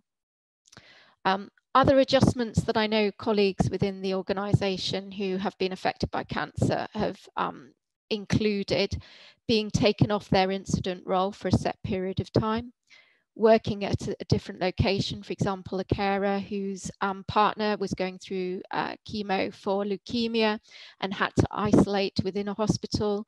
Um, that individual was allowed to work from a different office that was located closer to that hospital for a set period of time being assigned different duties for a specific period. So, for example, a lot of our st field staff that are operating machinery, um, if any of them are on cancer treatment, for example, it may not be appropriate for them to continue to operate machinery. So, they would be assigned different duties during that period. And then there's also medical redeployees. So that's where it's deemed that somebody can no longer do their job because of the treatment or side effects, and therefore they um, look for additional jobs within the organisation that may be more suitable to their needs. Next slide, please. So we have a number of employee networks to support our staff, and many of these are award winning. Many of us use logos in our emails, including externally, and this has led to people um, directly applying to our organisation, particularly where they felt discriminated elsewhere. What is unique about the networks is they're staff led. We set them up, we provide direction, and we have a senior leader that works with us and is our champion for that particular network. Next slide, please. So I helped launch launch our cancer network in 2017 and led it until 2020. The purpose of the network is to be an advocate, there to speak up for others and help shape our HR policies and practices. We're also a signposting service, so we point people to the wealth of information and resources already there and direct them to organisations such as Macmillan Cancer Support. Um, we've also direct people to GIST Cancer Support and also to RareCan, which you may have come across too. We're there to listen to individuals who may be requiring support for specific um, instances, and that can include line managers too that will come to us for some advice. And then we also provide support by providing case studies and a buddy system. So particularly um, line managers will buddy up with other line managers to understand how they've dealt with particular circumstances. Next slide, please. So pictured here is um, Sir James Bevan, who's our chief executive. He's been extremely supportive of our network. Um, this is him providing his pledge for World Cancer Day on the 4th of February, which is around supporting our employees affected by cancer. So this support from the top of our organisation has really allowed me and others to be really open about our cancer diagnosis at work and carry on with our careers. And for me, that's included a number of successful promotions too. Next slide, please. So one of my final messages to you is um, about a cancer diagnosis really shouldn't prevent you remaining in work if that is something that you want to do. Talk to your line manager and work with them to come up with solutions to help you, as basically you are the expert on you.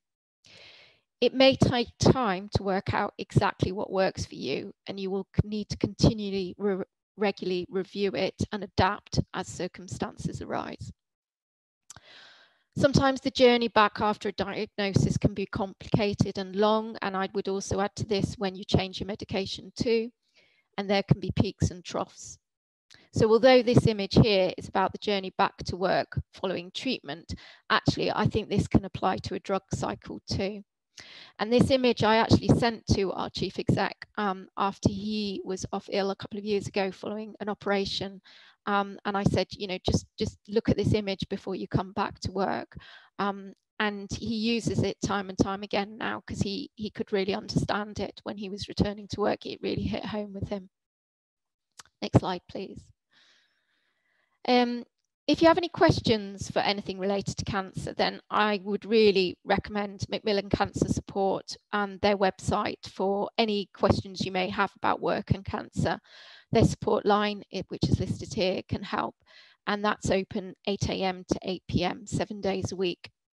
If you go to their website and scroll down from the home page to um, find the section information and support, um, and you click on that, it's got so much information on there and it even has specific guidance for line managers.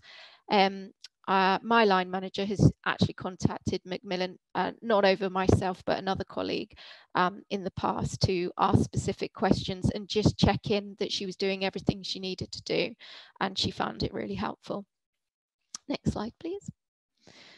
Um, so today we're very lucky because we're joined by Wendy Unsworth from Macmillan Information and Support Manager um, at Liverpool University Hospital and she's here alongside myself to answer any questions you may have. So I'd like to hand back to everyone to ask any questions. Wendy, did you want to introduce yourself quickly whilst we um, well, I am what you said I am. My name is Wendy Unsworth. I'm, I'm not a benefits advisor. I'm a nurse by background. Um, I've been in nursing since ooh, the 1980s, so I'm an old-fashioned nurse with lots of experience of looking after people with all sorts of cancers, all sorts of cancer treatments, and um, I've been in this role now just for two years, uh, working with uh, information support. So if I can't answer the questions that you specifically put to me today, I'm happy to take them away, find out the answers, and get back to you. Um, but yeah, the floor's yours, really. Okay, thank you very much um, for for that very informative talk. You you Vicky, you've got a, a very understanding employer, but I'm sure they have become more understanding uh, because of you. So um, well done on that. Uh, now we have a question hand up for ID van der Ploeg. So if you'd like to unmute and ask your question. There you go. Okay. Far away. We can. We, you're unmuted.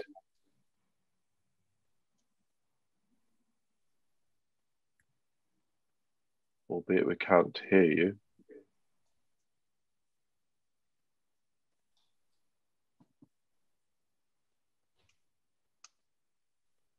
Uh, right, whilst we're sorting that technical bit out, Jane, do you have any questions? Um, yeah, it was in the chat. It was noticeable that a couple of people were saying you're you're very lucky, Vicky, to um, have such an understanding employer. And I think what what Nick has just said, obviously, you've probably assisted in that process.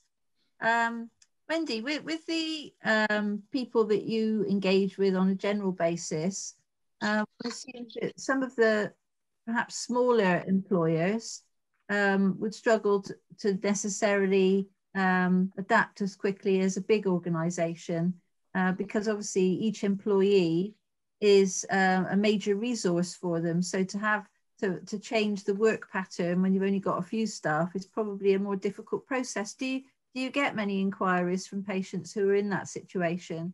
We do, and uh, like you say, every every situation is different, and I think what we really need to everybody needs to keep in mind when they're asking for adjustments is that it's reasonable adjustments.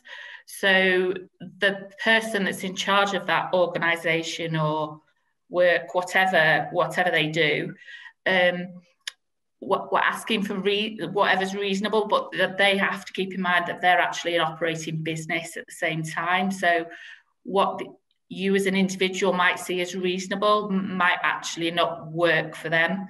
So I think having that conversation with them, an open conversation about, you know, how it's going to work. And if you can come up, you know, if you want reasonable adjustments making, and you can come up with solutions that might work that they might not have thought of, that might be something that they take on board.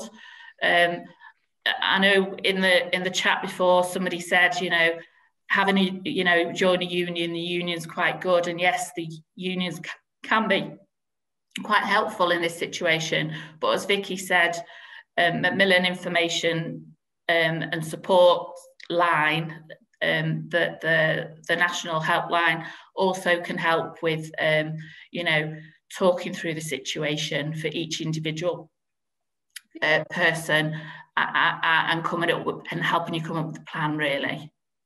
What was quite interesting is uh, also that Vicky said that the line manager had also rung Macmillan to get um, assistance with how to manage the situation. So um, I suppose from a patient perspective, um, that might be a good way to approach things uh, with this diagnosis. Obviously, to explain, you know, I want to continue to work, and I probably will have some adjustment, adjustments to help with that. But can, can we work at it together? Because Macmillan can help us navigate the best route and hopefully we'll, we'll each get what we need out of this um, relationship and this situation. Um, I know that all sounds like, um, you know, perhaps the best case scenario and not all employers are as um, understanding or as reasonable, but um, it's worth a try, I suppose, to get somebody to help help the process. Think some something that we've sometimes seen is is employees I, I appreciate I do work for a big organization so it is it is easier as an organization to sometimes make these changes and adjustments. But one of the things we do see is is sometimes people are expecting their line managers to come up with the answers. And really um, they don't know how you're feeling or what you will or won't be capable of or what you're struggling with. So I, I, I completely agree. I think it is about um, you as an individual trying to think about what will help you and what will work for you and working with your line manager to, and the organization to convince them that you're a valuable person that they don't want to yeah. lose and and working together you know with them and macmillan where you're struggling maybe and looking at all the different solutions and and trying things you know let trying to persuade them to let you give it a go and then see where we go from there. I mean, I noticed that there was one comment in the chat about an, a lady who had to retire from the NHS, and I must say I, i know of a few people that have worked within the NHS and for various different health reasons um, have had issues, and it, it it does seem a shame that as a big organisation that is there to care for others, sometimes it forgets to care about its own employees. Um, that's just from my perspective. I've seen that through friends no, I, I work for the NHS and we we see an awful lot of people that come through that uh, with any cancer diagnosis, and, and I have to say it's the same situation. Um, I know somebody's just put up in the chat as well about occupational health is is is a good way, and they give good advice about work and adaptations. But again, if you're a big organisation, you may find that they have um, occupational health departments, but some smaller firms actually don't have any occupational health either. So um, I think then, you know, GPs and uh, uh, are sometimes helpful in that situation. I, I haven't got any other questions at the moment. No, I can't. Okay. I got yeah. There's no hands up, and I don't think there's anything on the chat. Um, I've got just one just come in. Have, do you have any advice for? Bear with me. Do you have any advice for addressing this with new stroke prospect, prospective employers? Employers, so people wanting to employ people. Well, I mean, Macmillan, you know, the information.org um, website has an awful lot of information on there about cancer and people working in the in any workplace. So you can, you know, if you if you want to uh, engage with Macmillan, Macmillan are quite happy to um, educate people. I suppose the question might be, um, for example, I, I, I have first-hand experience of this. Um, when I was first a carer for my daughter, mm -hmm. I was at the point when I was between jobs and I did think I'm going to go and get myself another job. But I, as soon as um, they wanted to delve into more information about um, what I'd been doing in the gap, and I explained to them it was because my daughter had been diagnosed with cancer. I could see they're out there; they just switched off completely, and um, you know I wasn't going to get that job because they instantly thought, well, she's just going to have too much on her plate. I mean, they were right. I ended up becoming self-employed, but um, uh, that that's uh, probably where I think the last question was coming from. If you're if you're applying for a job, how do you actually? What is the best way, I suppose, to actually broach the subject of your diagnosis? When should that come into the conversation, and and how can you manage that? So, uh, got information like that on your um, um, website?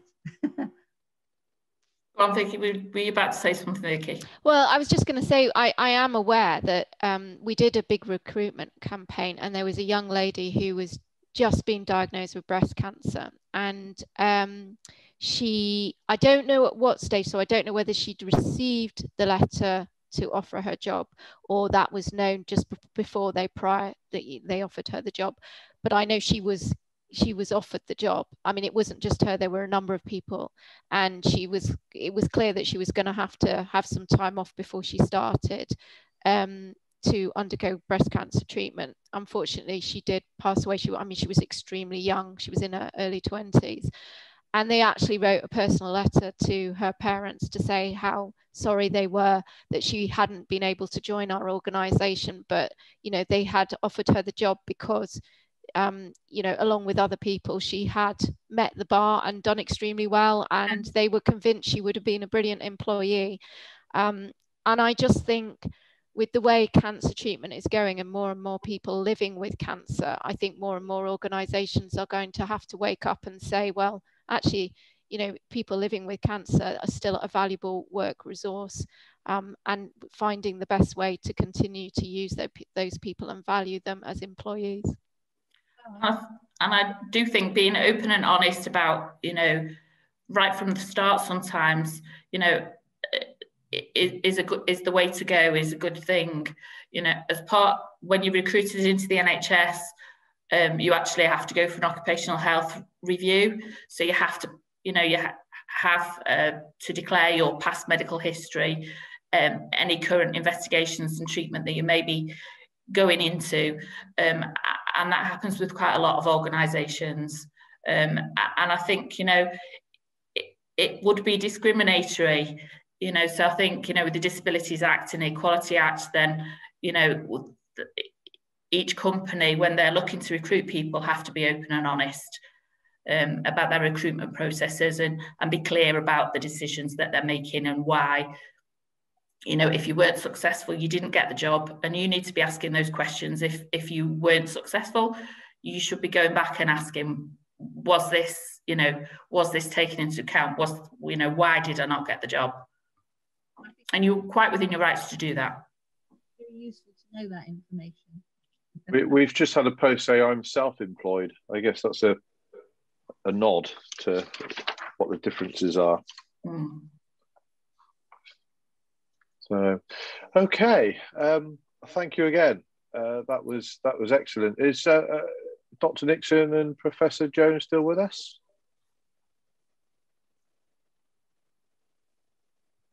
Are they gone? I know they're busy people. Sounds like they've gone. So, okay. Um, I would like to thank them before they left, but uh, I guess we're um, we're quite busy. I'm here. I can't see myself. Oh. Thank, thank you. It oh, was right. great. Okay. Um, uh, yeah, it was great listening to everybody sharing. We always learn when we listen to you. So thank you for sharing and thank you for listening to our talk. It was great to participate. Thank you for the thank you for the invite. Okay, you're, you're welcome. Rob, Robin's online too as well. So, okay, I just didn't want to, you to both to leave before I had a chance to thank you both. Um, right, we're now going to hand over to uh, to Jane, who will just give us a quick update um, on where GIST Cancer UK are at the moment. So over to you, Jane. Thank you. Can I see the next slide, please? So, um, in terms of the impact on of the pandemic on GIST Cancer UK, um, this is our first meeting since our first patient meeting for a year. I mean, obviously we usually do three a year. So um, we we held off and held off for quite a while, thinking we really want to go for face to face, and we were hoping that lockdown would end and things would um, ease up, but they didn't. So um, this is really our very first attempt to address that um, part of the service that we commit to deliver every, every year, which is um, to enable GIST patients to get together and to learn more that might be of benefit to them. Um, all of our face-to-face -face meetings were cancelled, all of our PAWS-GIST clinics were cancelled. Um, some of the GIST research projects that we fund have been delayed because uh, the clinicians and the researchers have been deployed elsewhere in relation to COVID. And uh, as a result, they had to put the stuff they were doing on hold. And obviously, um, as uh, with many charitable organizations, um, our income has um, suffered quite badly because some of the events that um, we've kind of come to rely upon to generate income, such as Ride London, etc., they were all cancelled. Um, one thing that actually increased were the numbers of GIST patients that registered with us. And um, obviously, um, there's quite a few new people who are on this call today who um, are new to engaging with us and with other GIST patients. Um, so we're hoping that um, this is the start of obviously other online meetings that we're going to have. And we really do hope that by the end of the year, we can get back to doing some face-to-face, but a bit like the telemedicine discussions, um, you know, potentially we'll we'll have a mixture, a, a balance, because um, you know we can actually put these meetings on. Um, more people can attend, and um, you know you don't have to travel that far. So hopefully it will be useful to everyone. Um, in terms of um, what I'm going to say next, I need to see the next slide, please. so we continue to um, help and support patients. Um, we have a patient helpline. Should um, you know you have any things you want to talk firsthand to another GIST patient about, our helpline is manned by people who are GIST patients. So they've been there, seen it, and got the T-shirt, etc. Um, we have our online patient forum. It's a, a, private forum, but if you want to join it to have that um, kind of thing in the background that says, okay, if ever I've got a question, doesn't matter what time of day, I can post it, and there'll be somebody else on that platform that will have experienced what I'm experiencing or what I've got questions about, and they'll have some useful information for me. A lot, a lot of people find that very helpful. Um, obviously, we've got all sorts of different social media platforms. Uh, we have a website, and there's quite a lot of useful content on there. We try to keep it up to date, and we've we've also over the past year um, developed some patient videos, um, just patients talking on particular experiences like um, living without a stomach and uh, dealing with the um, emotional side of, a, of their GIST diagnosis, um, ideally to try and bring to life um, some of the patient stories that we've already got on our website because we weren't able to have meetings. We've still been participating in NICE and Scottish Medicine Consortium appraisals for new drugs. Um, so those things are still happening very much so. And, you know, we, we recently were really pleased that um, the Roche drug, uh, entrectinib, was um, approved by the Scottish Medicines Consortium. Um, and there are other things that are in the pipeline with both um, organisations. We're still collecting GIST tissue samples for the National GIST Tissue Bank. Um, you know, if, if patients are having operations and they decide they'd like to donate tissue, then um, we can help to organise that. And we're still funding um, the clinical trial, which is this three versus five years of imatinib study. Um, we're still trying to grow cell lines from any PAWS, GIST tissue samples we can obtain. And um, we're still funding research um, into RNA methylation and SDH deficient GIST. So um, where we're sitting at the moment is we're anticipating that we're going to get more applications for GIST research.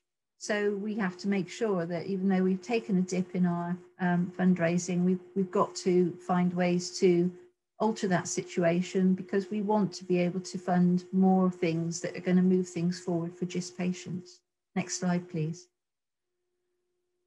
So um, other things we've done in the background, um, I think Vicky mentioned it, we, we've formed a partnership with an organisation called RareCan and, and the, the stimulus for this is really um, that we are very keen to try and um, find a way as soon as possible to get even more attention about the needs of GIST patients. I mean, there, there are all sorts of different types of GIST, and obviously not, not all of the drugs suit everybody that are available at the moment. And there are some types of GIST, which if the surgery um, isn't effective, then, um, you know, the, the treatments that exist aren't um, effective either. Um, and what we're trying to do is to get together with RareCan um, to sign GIST patients up to RareCan. And um, they're hoping to, well, they are exploring collaborative projects with academic and scientific groups about developing new treatments. If, if, we, if we can't be seen, if we're all over the place and we're not sort of in a group saying we need your, we need your assistance, it's going to be difficult for researchers to find us. So RareCan is hopefully a, a vehicle whereby we can do that. Um, we finalised our name change. Obviously, when we started as a charity, we would GIST Support UK. We're now GIST Cancer UK. That, that required a huge amount of um, effort as far as back office type of work was concerned. Um, we upgraded all of our systems so that uh, we're now operating on modern, platforms such as Microsoft Office, etc. And that, that makes life easier for us as trustees to communicate with each other. You know, we're all based remotely around the UK, but um, we have like a central office effectively remotely or virtually. And um, we're working really hard to replace lost income. We lost three of our trustees, um, unfortunately, two of whom went to heaven. And um, as you could probably tell from all this, we could also do with some support right now. Next slide, please. So um, on that note, we, we recently um, entered a competition with some university students at Bath University and they created this um, video for us. So just thought you might like to see it and give you a rest from listening to me for a while. So um, we can watch the video, that would be great, please. Thank you for your interest in helping us. And by you taking the time to watch this video, we are already one step closer to our goal. This is Sarah. For years, she had been having headaches, colds, and stomach aches, but no medication seemed to help. It took four years for her to be diagnosed with GIST cancer. Like many other GIST cancer patients, she felt lost and unsure of who to go to for help. This is where GIST Cancer UK comes in. Since GIST is such a rare cancer, most doctors and nurses know very little about it. This can delay accurate diagnosis and appropriate treatment. We aim not only to educate professionals, but also to raise awareness of GIST amongst the general public. We also promote and protect the physical and mental health of GIST patients in the UK by providing information, support, education, and practical advice to them and their family. We raise funds to stimulate GIST research and provide financial assistance to selected researchers seeking to improve treatments and find a cure for GIST. A couple of UK GIST specific research projects that we have stimulated are the National GIST Tissue Bank and the PAWS-GIST Clinic at Addenbrooke's Hospital in Cambridge. Both form the bedrock for GIST research, and the clinic is only the second of its type in the world. With your help, we will be able to continue these important research projects, whilst also encouraging and funding more GIST research. Hopefully by now, you're wondering how you can help. Donating need not be difficult, and any funds you raise will go a long way to support research and patients. Even if it's resharing this video to friends or family, it helps us to raise awareness of GIST. Please like us on Facebook and follow us on Twitter and Instagram for updates. There are many different ways to donate. Let's first talk about donating as an individual. When you're selling items on eBay, you can choose to donate a portion of the sale price to GIST Cancer UK. This amount will also be free of seller's fees. By using easy fundraising every time you shop, you'll raise a free donation for GIST Cancer UK or Pause GIST. It's that easy. You can also make a text donation by simply texting these numbers. Try it now. You can also donate by sending a cheque to our treasurer. The cheque can be made payable to GIST Cancer UK. Alternatively, if you would like the donation to go in particular to the PAWS-GIST area of our work, GC UK, Pause GIST. Please also tell us if you want us to treat your donation as gift aid. We also have a special 1000 Hours for GIST project, where we are encouraging 1000 busy people to sign up and donate just one hour or equivalent of their wages each month. Setting up a standing order with your bank to donate to GIST Cancer UK or PAWS-GIST. Please quote either GC UK 1000 hours or PAWS-GIST 1000 hours as a reference. Over the last few years, our amazing supporters have organised and taken part in hugely successful events, ranging from sponsored cycle rides, marathons, to swimathons, all on our behalf. If you have an idea for a fundraising event, we'd love to hear from you. You may even be able to double or even triple the impact of the funds you raise with match donations from your employer. Please talk to your Human Resources Department or employer's charity representative to find out if your company can match your donations to GIST Cancer UK. And now let's see how businesses can help. Does your company have a payroll giving scheme? Employees can donate directly from their gross salary before tax is deducted through payroll giving schemes. You can sign up with organisations such as Charities Trust or Charitable Giving and select GIST Cancer UK as your charity of choice.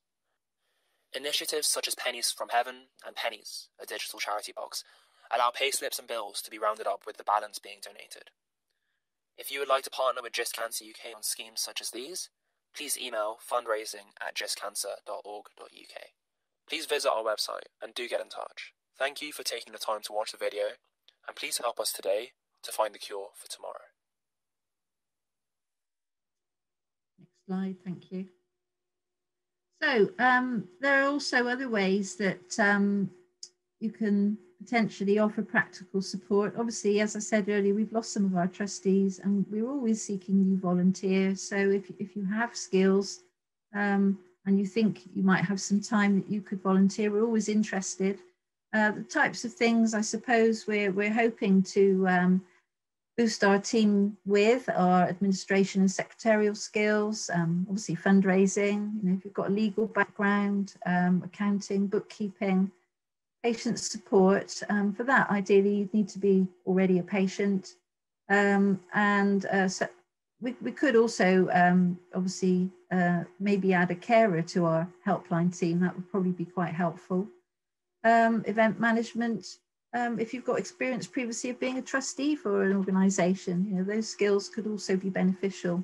Um, so if, if that um, strikes a chord of uh, interest from you, please write to us at admin at gistcancer.org.uk.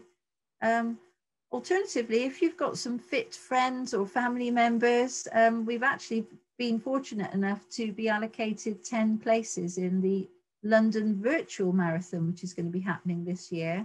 Um, so if anyone thinks they've got somebody who's capable of running a marathon and they'd like to, it's a long way, um, then by all means get them to contact our fundraising at gistcancer.org.uk address. Um, next slide, please. Um, so to close, um, we hope you found, I did say the last couple of hours, is slightly more than that probably. Hope you found this um, meeting useful and interesting. And um, we plan to have more virtual meetings. So if there are any topics uh, that you think you would find it helpful for us to cover, then please let us know. Um, thank you very much to our speakers today. I know Nick's already thanked you, but we are really grateful for your time because we know how busy you all are. And I'm wishing you all a safe journey from your computer to the kitchen to make a cup of tea now. So thank you. Next slide, please. Um, as I say, if you've got your phone handy and you'd like to text a donation, then the numbers are on the bottom of this uh, slide here. It's very easy. Thank you. Thank you, Jane. Um, well, that is the end of our very first virtual meeting. I'd like to thank all our speakers, uh, Dr. Nixon, Dr. Jones, um, Vicky, uh, and uh, Wendy. Um, I'd like also to thank Jane for all of her hard work in putting this together and also to the production company that have managed to technically get this sorted for us. Um, so, uh, production bureau, Anna, and, and all your team, thank you very much. We will be having another one of these. We don't know when, uh, but I'm sure we will let you all know as soon as we know when we're going to have it. Uh, unless lockdown stops, uh, you know, and, and, and the, the vaccination program works so well that we are allowed to do it face to face um, in which case we'll we will be doing it face to face. But I would anticipate that our next face to face meeting will be in in March next year, in probably in Bath, which again we will let you know via the the uh, the website. But thank you all for attending. I hope you found it uh, as useful as I did. And uh, we will continue to work on your behalf in uh, in the field of GIST cancer to try and find a cure um, and further treatments and progress with research. So thank you again, and uh, that's us signing off. With also a thank you to Sharon Bethel for all her hard work. yeah, sorry, Sharon. Did I forget you? I knew I'd forget somebody. I'll tell you what, let's thank all the trustees because everybody's had a bit of input as well. But yes, Sharon, thank you as well.